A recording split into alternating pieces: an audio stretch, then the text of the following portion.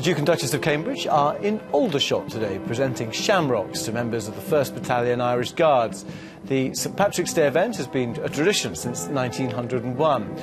Prince William will attend as Colonel of the regiment. Here you can see the Duchess handing out uh, shamrocks, visibly pregnant now in that uh, green coat and that uh, dark hat.